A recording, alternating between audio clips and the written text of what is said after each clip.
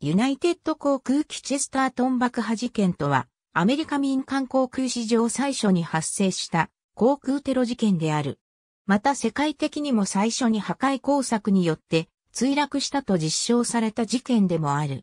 ユナイテッド航空のボーイング247型総発旅客機は1933年10月10日に大陸横断便として運航されていた。ニュージャージー州ニューアークを起点に最終目的地はカリフォルニア州オークランドであった。途中経由地であるクリーブランドを離陸し、シカゴに向かっていたが、インディアナ州チェスタートン郊外を飛行中の現地時間の午後9時15分頃墜落した。目撃者の証言では、爆音とともに高度1000フィートで飛行機が炎上し、地面に激突してさらなる爆発が続いたという。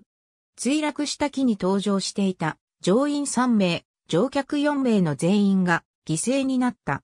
犠牲者のうちの一人、女性客室乗務員、アリス・スクリブナーは、飛行機事故で死亡した初めてのユナイテッド航空の女性客室乗務員となった。現地ポーター軍の検視官事務所とノースウェスタン大学などが収集した墜落した機体の証拠物件の分析から連邦政府は当機が破壊工作によって墜落したと断定した。その分析によると、ニューアークで木のコンパートメントに積まれた茶色のバッグの中に次元発火装置がついたニトログリセリンと思われる爆発物が隠されており、これによって木の後部胴体が分断、燃料タンクが押しつぶされて炎上し、墜落に至ったと結論付けられた。